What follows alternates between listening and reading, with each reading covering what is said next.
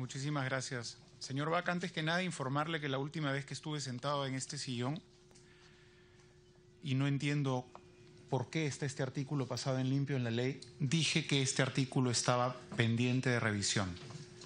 Los porcentajes expresados aquí no son los que yo he sugerido.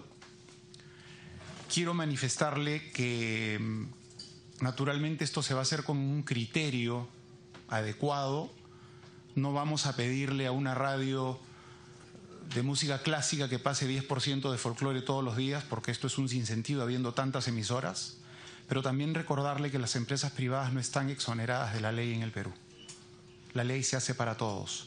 Nosotros vamos, y esto está escrito aquí, revisar y pedir información a la Sociedad Nacional de Radio y Televisión. Esto no lo ha mencionado usted en su exposición. Lo tengo yo escrito en mi, en mi ley. El artículo no está aprobado, la ley no está lista nosotros creo que tenemos el criterio de saber lo que es viable y lo que es absurdo. Y sí, es absurdo pedirles 30% y 10% de folclore.